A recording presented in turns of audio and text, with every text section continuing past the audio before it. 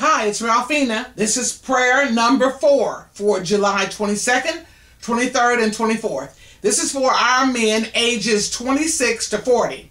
We pray that our men be filled with strength, power, soundness of mind, and that they assume the leadership role as provider and protector for those that share their lives.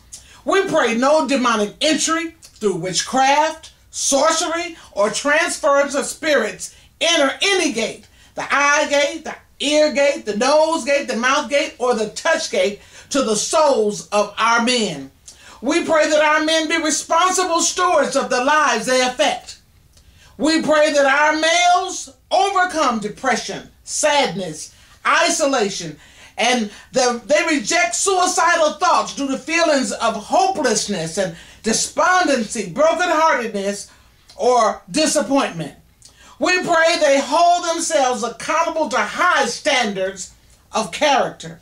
We pray our men's desire a reputation of consistent integrity and honor for themselves and for others.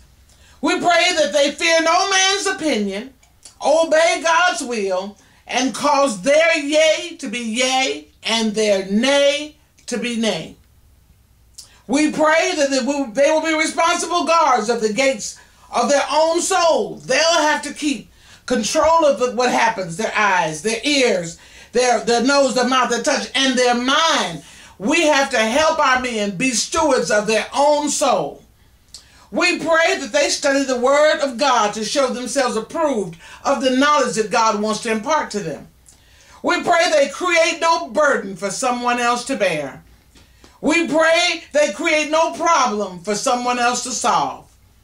We pray they do no evil and they cause no pain.